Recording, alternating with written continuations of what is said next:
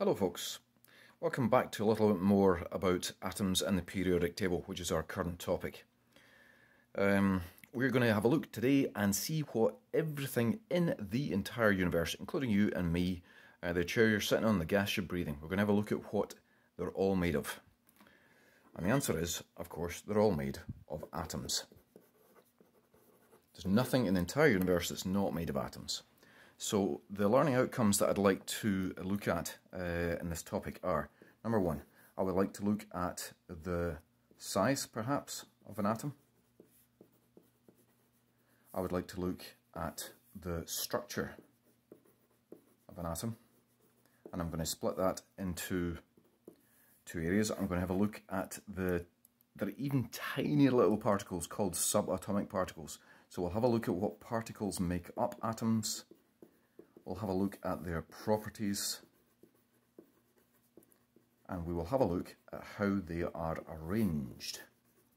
Um, and the assignment for this at the moment, for this week, next week coming up, sorry, um, is going to be your job is to build a model of an atom using stuff from around your house. Anything you like, make it as imaginative as possible. Um, you can do it from plain from just 2D, from a drawing. If you I mean, if you're really stumped, you could do a nice detailed drawing of an atom if you can't find anything. On the other hand, if you have any materials around that you could stick onto a page, you can start to build it up into a 3D version, more like a sculpture of an atom. How cool is that? But anyway, before you can do that, you need to know about these things called atoms. So let's start off with size. They are ludicrously small. You could fit billions and billions on the point of a pin. We can, they're so small, you can never ever see them, which is a bit of a contradiction because how do we know they actually exist then? Uh, we don't do belief in science, we do proof. Um, and I think what I might do is leave the proof behind the atoms until later on. Today I'm going to stick to these learning outcomes here. Uh, they are extremely small is the answer.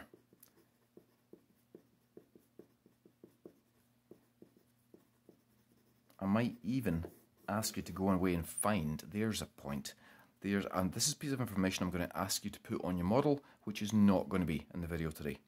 I would love to know the actual size of a, let's go with a hydrogen atom, simplest atom in the universe.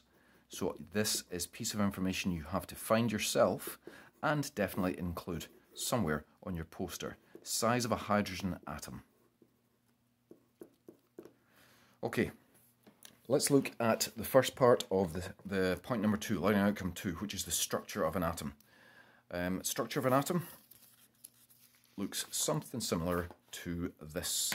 There are three particles involved in atoms. If some of you, I know some of you from previous years and you're a bright bunch, so there's a good chance you've done some reading on this. You may be familiar with three terms, protons, neutrons and electrons. Um, let's have a look at where these particles occur uh, in an atom. Let's have a look at the properties of some of these particles. And lastly, we'll see how they're arranged. So I think we'll start with a typical atom. Um, let's draw a typical atom. I think we'll do protons in red. We'll do electrons in blue. And we'll do neutrons in green. Um, so let's do a key here. Red circle is a particle called a proton. Um, I said blue, didn't I? For electrons.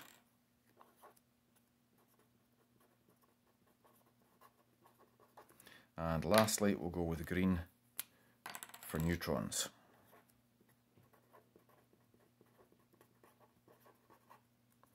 Okay, um, your typical atom uh, has a blob at the centre of it called the nucleus, not nucleus, Okay, okay, that's an Americanism.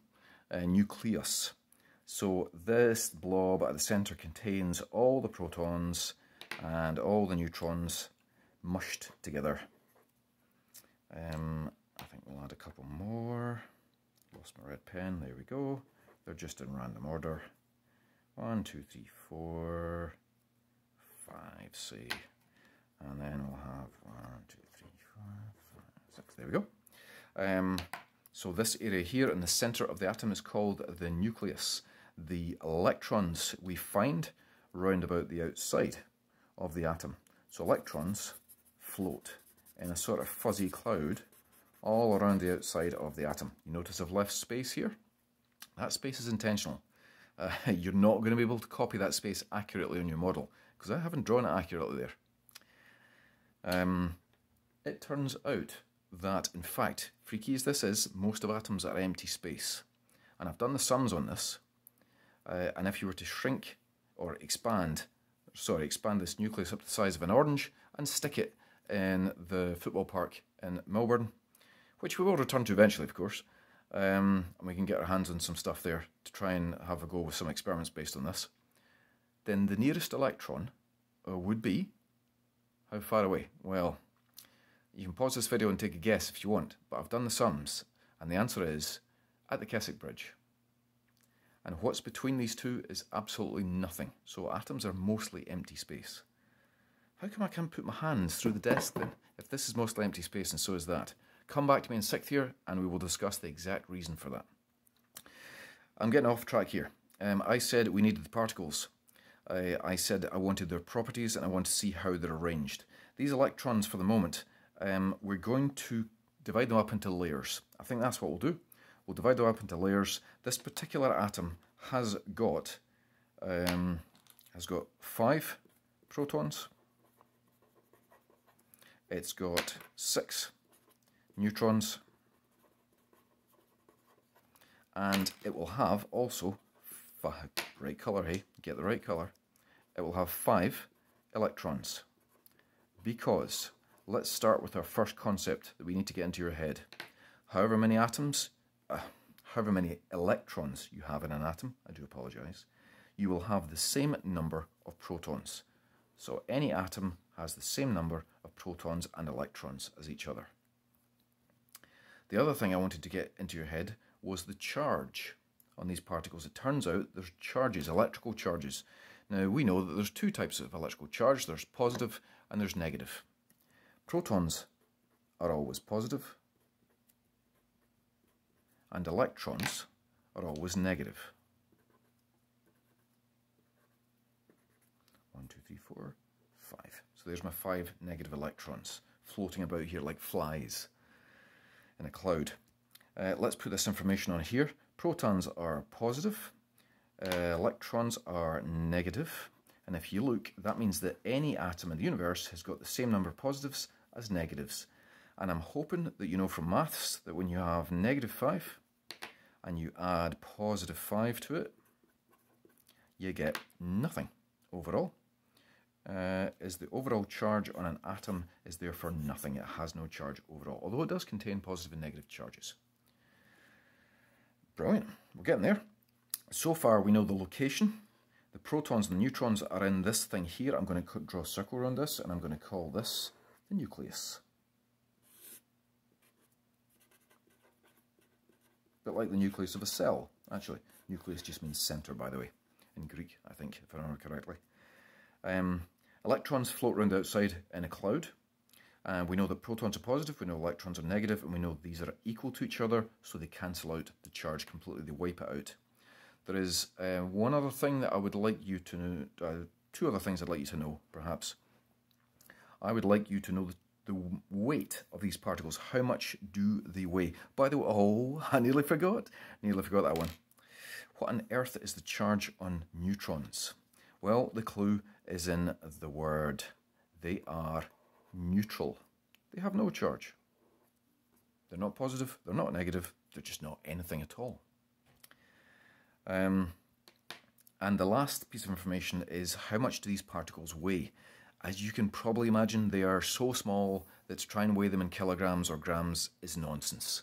You're talking 0.000, and we can't be bothered with that. So what we did was we invented a brand new unit, and we uh, found that the protons had a mass of 1. So can we label this? Yeah, let's label this. Hold on two seconds. Let's label this as charge. And let's squeeze another wee column on here and we'll label this as mass. I'm hoping you can see this in the video okay. Yeah, that's clear enough. Um, here are the answers to what the masses are of these particles. The mass of a proton is 1 If you're interested in one what, it was a unit we made up. It's called atomic mass units. But don't worry, we'll just go with one. It's good enough for me. The mass of a neutron, it turns out, is also one. And these guys here are so tiny, which is why this drawing is perhaps, I should redraw this to scale, shouldn't I? These guys are so tiny that the mass is more or less zero. There is a mass, but at National 5, National 4 level in chemistry, we don't care about it. It's more or less zilch. Great. Um, all we need to do is show how these particles are in fact arranged. Um, how do we show the number of particles with a symbol for an element? Let me get one more sheet of paper, I'll just pause this. Okay, on this sheet of paper, I'm going to show you how we uh, show a shorthand version of any element in the periodic table. Um, we have its symbol. Let's pick, uh, let's pick, in fact, you know what we'll pick? I know what we'll pick. We will pick boron, and you'll see why in just a second. So, we write the symbol, which is a capital B. You always start with capitals, by the way, for element symbols. If there's only one letter, it's just a capital. If there's two letters, the second one's always lowercase. Um, at the top here, we're going to write something called the mass number. And at the bottom, we're going to write something called the atomic number.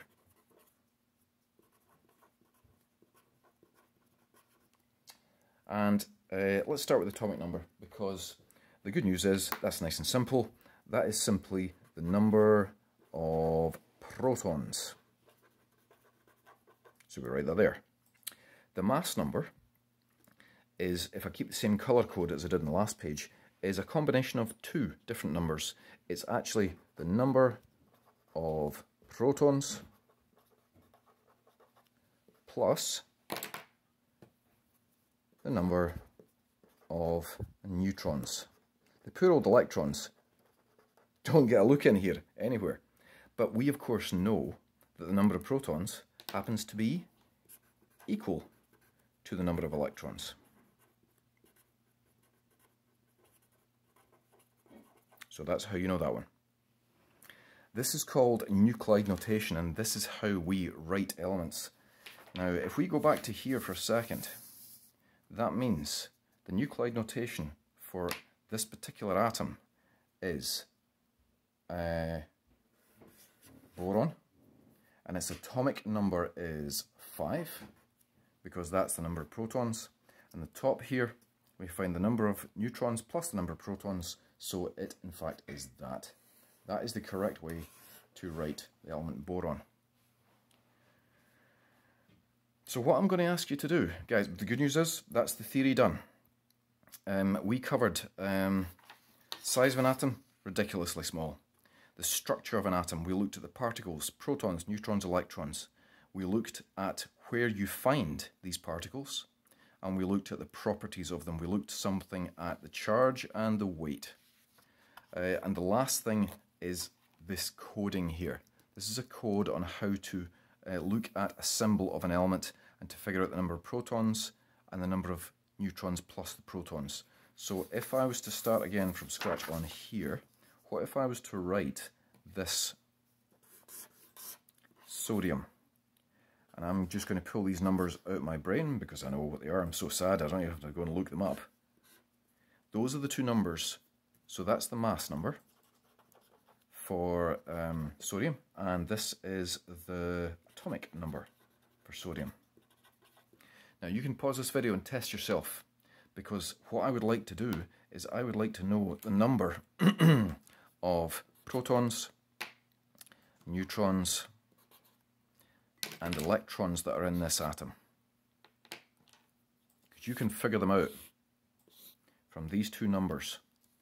So pause this video, have a wee go at it on a piece of paper, see how you got on. Spoiler alert, when you press play again, I'll be giving you the answers. Okay, I just said a couple of minutes ago that the atomic number is equal to the number of protons. So that's easy. That makes that 11.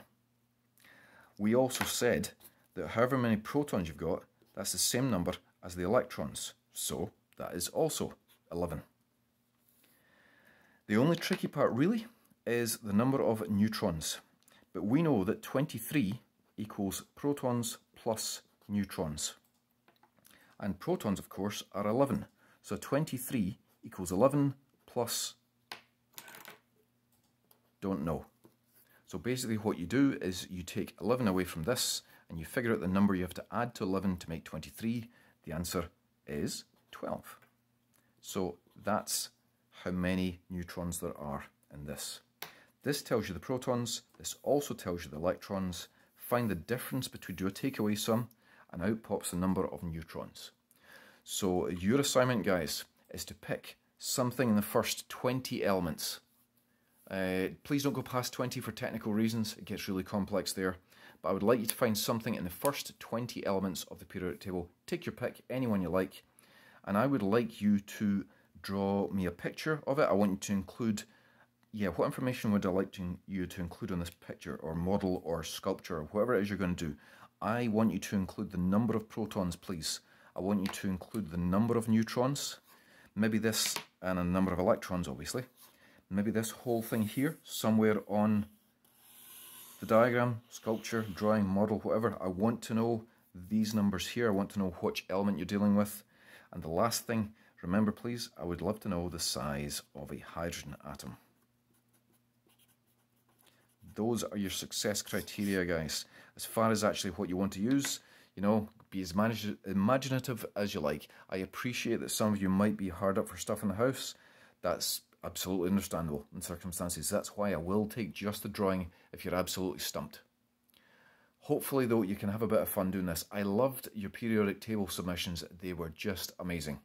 Um, I've tried to include Mr. Crawshaw's running a sort of well-done board that we can show off some of your best work with uh, and I'd love to include uh, some of the pictures on that. Thanks for listening. I hope that was clear. Bye-bye.